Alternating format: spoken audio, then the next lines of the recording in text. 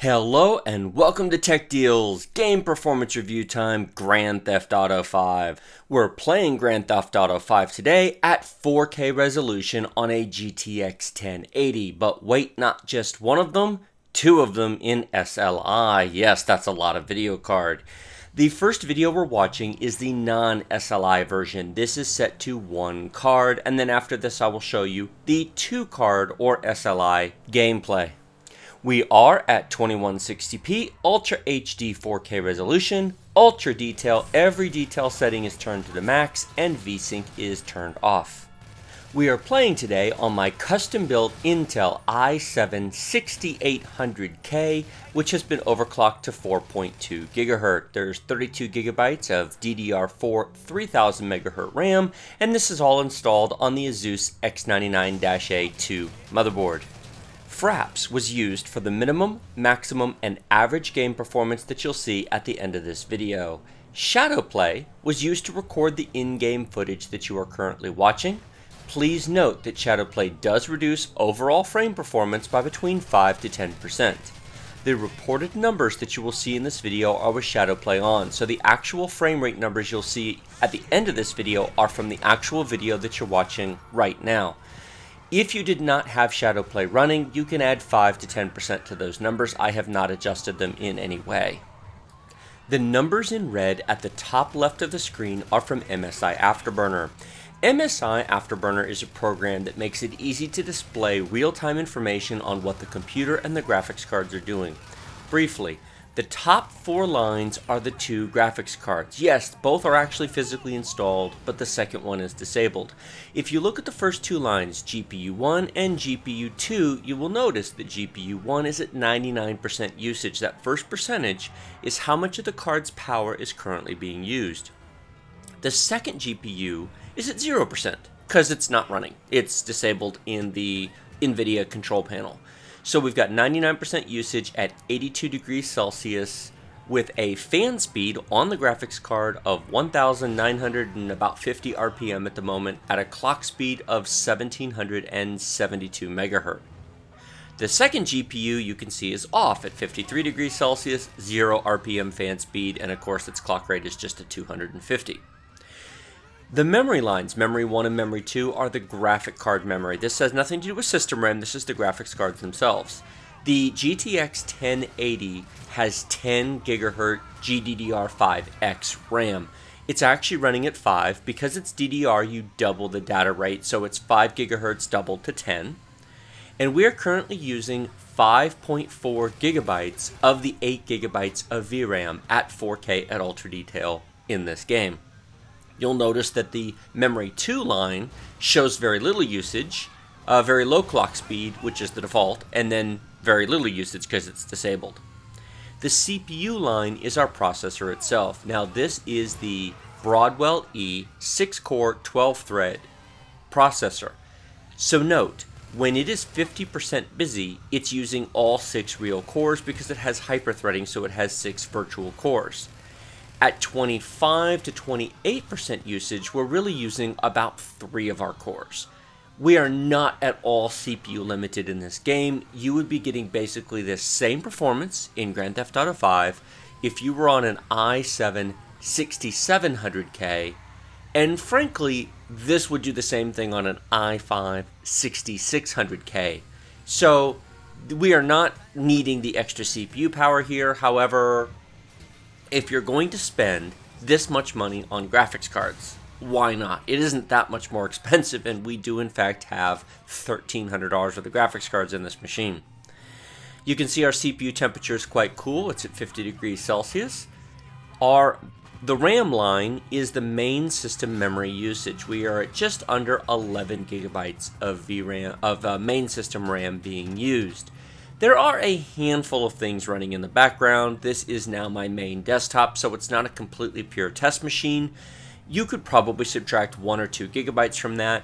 However, in fairness, who is really running a GTX 1080 without at least 16 gigabytes of RAM, which would be plenty for gaming? Finally, we are of course in DirectX 11 mode, which is the last line, and that is our real-time frame rate. Now, I am recording the frame rate in the background with Fraps. Fraps is not recording the video you're watching, Shadowplay is. much less performance impact. But the real-time frame rate there, as you can see, not bad. We're at about 60 frames per second at max ultra detail at 4K. That's pretty good. So the question becomes, how well two will two graphics cards work? Not to worry, we'll get there in a minute. Boy, I keep hitting trees, don't I? As I noted earlier in the video, this game is being played on the i7 6800K Broadwell E 6-core high-end enthusiast desktop chip. This is the computer that was built as part of my $4,000 Ultimate Computer Build series. So if you've watched that, yep, that's this computer. Note, don't be uh, discouraged by the $4,000 price tag. Half of that was storage. If you want to play uh, high-end games at high performance and you want one of the best CPUs on the market for that, you don't have to spend that much. You can build this machine for about 2000 to 2500 by leaving out a lot of the storage that I put in there. I noted that in those videos. For playing Grand Theft Auto 5, you don't need the i7. I've commented this on other videos I've done. An i5 6600K overclocked to 4.2 or even 4.5 gigahertz would produce exactly the same game performance. Look, we're using 22, 25% of our CPU power. We're not even using four cores, so the 6 doesn't make any difference for this game. Are there exceptions? Yes. Battlefield 1 is one of the newest games that's just come out that actually does use more than four cores, and it is starting to change. I've done numerous videos talking about the benefits of just buying an i5 versus an i7. That might be changing. Um, advice is good at the time it was given, but of course things do change. And I'm starting to move into the an i7 for extreme gaming makes sense.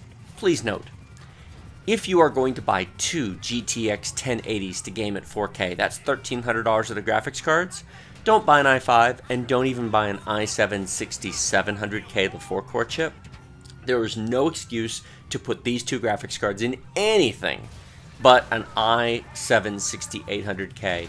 It's about $180 more for this CPU over the 6700 counting the motherboard price difference worth every penny. Now, moving on to SLI, I'm just showing you the performance. None of this has been changed. I showed at the beginning, but there was a lot of boxes and talking ahead of it. I'm just showing you that it's the exact same performance settings, but now we have SLI enabled. Take a look at the upper left-hand corner of the screen. Two interesting points. First of all, both graphics cards are now in use. You can see GPU 1 and GPU 2, both percentages and both temperatures are rising. You will notice that the fan speed of the second card is noticeably lower than the first card. You will also notice that the temperature is much lower. These cards are installed together on the X99-A2 motherboard. Because they're together, there is less airflow to the top card. Its fan is always going to have to run faster and it's going to run hotter. Please note that the X99-A2 motherboard does offer a single open slot between the cards so they are not directly next to each other. So you're going to want a, a two slot high bandwidth SLI bridge in order to put these cards together. But there is a little bit of airflow in there, but not as much as I would like. Take a look at the VRAM. Memory 1 and Memory 2. Now, this may simply be a reporting bug in MSI Afterburner. It might be something to do with NVIDIA's new drivers.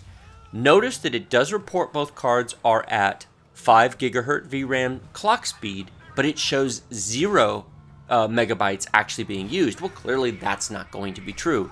Why does it show that? Maybe it's a bug. I can't tell you. I played around with it. I've tr actually tried running it twice. I rebooted the machine it still came up as 0 megabytes, so go figure. The CPU usage is a little bit higher now. Um, we're up to 40% usage. I don't recall it ever hitting 40% in the previous run. As you add more graphics performance in the form of two graphics cards, you need more CPU performance. It does make a difference. But then again, as I said before, if you're installing $1,300 of the graphics cards, seriously, don't go with anything less than an i7 6800K. For the $180 more it will cost you over uh, Skylake's i7, the 6700, it, it's a no-brainer. That makes absolutely no sense to do anything less than that. Our main system RAM is about the same use as it was before, just over 10 gigabytes, but take a look at our, clock, our frame rate. DirectX 11, 106, 110 frames per second. What a difference. I do think it's worth talking about the difference between pure frame rate and playability. Is Grand Theft Auto 5 fully playable at 4K resolution at ultra detail on a single GTX 1080? Yes, you saw it earlier. There are moments where it slows down. Now, I played more of this uh, for, than you're just watching here. This is trimmed down footage. I actually played for about an hour, uh, about half an hour with it on, half an hour with it off, trying various things. I drove into the countryside. The grass at ultra detail in the countryside really kills performance, so you might want to turn grass down a notch or two if you're only running with one card. But even on two cards, uh, the grass really kills the performance. Driving around in the city is actually much, much faster. If you have a single 1080 and you want to play at 4K resolution, yes, that'll work great. I don't have any problem with a single GTX 1080 being used at 4K, but I would turn the ultras off. I would go to very high detail across the board. It will improve the minimum frame rate and improve the overall smoothness. And smoothness and responsiveness is something that a pure FPS number does not reflect, which is why I'm doing a live game video and not the pre-recorded benchmark.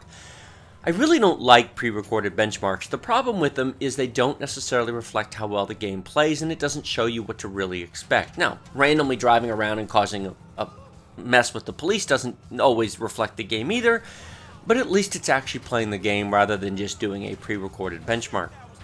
Now please note, SLI does not work on every game. I will do upcoming game performance videos where I show that. But if you're thinking you'll just buy two cards, put them in SLI, and this will solve all your performance issues, I'm sorry, but it just doesn't work that way. One of the questions that's going to be asked is why don't you just buy two GTX 1070s and SLI those? When you see the performance numbers, that'll make sense. Yes, you could. And in this situation, that actually would work just fine. However, if you are going to game at 4K resolution, which is the only reason to buy two GTX 1080s and SLI them, the problem you run into is in games that don't have good SLI support, uh, you're going to be forced to run on a single card. If you only have a 1070, you're going to be severely performance limited trying to play on one card at 4K resolution. Now, if you're okay to scale it back to 1440p in games that don't support SLI, all right. SLI a pair of 1070s. The 1070 has 8 gigabytes of VRAM and it costs a lot less than the 1080 does. You can now find 1070s for under $400. So for about $800 you can get a pair of 1070s versus $1,300 for a pair of 1080s. That was not true when the cards launched by the way. Which is why I have a pair of 1080s because at the time of launch, well, what can I say, this made sense. And I do want to game at 4K now I'm going to trim this video here. I'm showing you a little bit less of this one. We're going to go take a look at the results now. And here are the results. On a single GTX 1080, we have an average of 60 frames per second, a minimum of 48, and a max of 67. But when we turn both cards on, the average rises to 97, we have a minimum of 69, and a max of 120. That is a 61% increase in the average, a 44% increase in the minimum, and a 79% increase in the maximum. That is a fairly decent across the board performance increase of more than 50%. I will note that it totally depends upon where you're at in the game. I did trim out and ran a second Fraps run on the two SLI cards. My first run, I ended up out in the wilderness, and with all the grass, it severely hit the performance. So I did another one to show you, and that's what you watched right there, to try and make them in the city as similar as I could. Allow me to remind you that you can add 5 to 10% to these numbers because they are with Shadowplay recorded. I have not adjusted these numbers in any way, so both sets of numbers will be slightly higher with Shadowplay off. Having said that, if you want perfect smooth performance at 4K at ultra detail, it does take two of these, or possibly a pair of 1070s. There will be games where SLI doesn't work, and as I said, I'll have those upcoming in a future video. Like this video if you like it. Don't if you don't remember to subscribe to my channel with the big huge red button down below. Leave your questions and comments below the video. And as always, use the links in my video description below. Links to buy Grand Theft Auto 5. Links to buy all the various hardware that you see in this video. Amazon, Newegg, and eBay are down there. Please use those links if you like my videos so I can be here to make you more videos. Thanks for watching and I'll see you next time.